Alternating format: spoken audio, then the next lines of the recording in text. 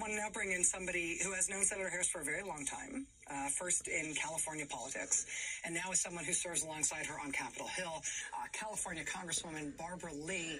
Uh, Congresswoman Lee, I really appreciate you, you being here with us tonight on this historic night. Thank you so much for making the time. I'm so happy to be with you, uh, Rachel. It's, it's hard to contain my excitement and my joy this evening, so thank you so much. Tell, tell me about that that excitement and that joy. I mean, this is um, part of the dynamic that I think people in Democratic politics went through today. Is that while everybody knew that Kamala Harris was one of the top contenders for this spot, it didn't leak, um, and we didn't know who the last few people were still in contention. We weren't sure exactly what day it was going uh, to be announced. What did you think? What was your reaction when you heard that the decision had been made and that it was Senator Harris? Well, my uh, it was wow. uh, first of all, she, I, I, I was overjoyed.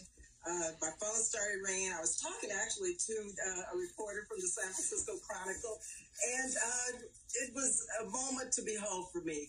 I uh, screamed, you know, cried some, and then I said, "Wait a minute, Kamala Harris is so prepared to be our vice president. I've known her for years and years. I supported her when she ran for president. And who else is better prepared to be uh, Joe Biden's partner than Kamala Harris? Tell me about um, this, the historic nature of this moment. We have had uh, both parties nominate a female vice presidential contender, uh, Geraldine Ferraro for the Democrats first, and then years later, Sarah Palin. Uh, Sarah Palin actually posted something on Instagram today that was very constructive and sort of kind to Kamala Harris uh, about sort of how to stay true to herself through this moment, which I thought was interesting. Uh, we, of course, saw Hillary Clinton's campaign in 2016, but we have never seen a woman of color on a presidential ticket, on a main on a major party presidential ticket when it came to the nominees and going forth to that convention and standing up at the general election.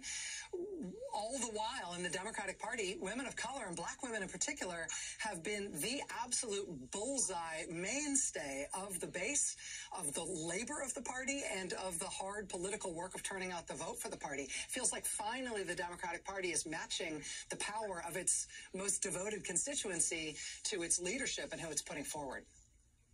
That's right, and uh, the historic nature is is so profound. When you look at uh, 1972, when the first African American woman elected to Congress, Congresswoman Shirley Chisholm, she ran for president. Actually, that's how I got involved in politics. And Congresswoman Chisholm, our presidential candidate then, she fought just like Senator Harris has been fighting to break so many glass ceilings for so many women, so many African American women, so many people of color. And so I think about the historical context now, Shirley Chisholm passing this baton to Senator Harris as our vice president to come. And I'm so, so it's, it's so important that, that black women are seen up front now.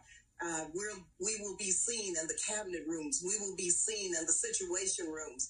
We will be seen through all of our foreign and, and domestic policy as as leaders and as the vice president who will bring so much to the table as it relates to making sure that all Americans receive a fair shot at the American dream, at the American dream. And so she is a person who has embraced this country. She loves this country and she's going to fight for it racial justice, economic equity, and health and health security and economic security, especially in this moment of this horrific pandemic. She's the right woman for the right time. Congresswoman Lee, I've, I've talked to you on and off over the 12, 10, 12 years that I've had this TV show and I've been doing this job, I have never seen joy on your face uh, like I'm seeing tonight talking to you about this uh, about this nomination. It's nice to see you uh, so enthused and so psyched about this, Congresswoman. Thank you so much for sharing it with us. Thank you, Rachel. She was born in Oakland, California, too, right next to your hometown. That's Thank right. You. That's exactly right. I will tell you the the Maddow family, to the extent that we can claim this, the Maddow family is very proud of it being someone from the East Bay, a woman from the East Bay, uh, who is on this ticket. Thank you for knowing that too. Thank, right. you so much. Thank uh, you for having me tonight.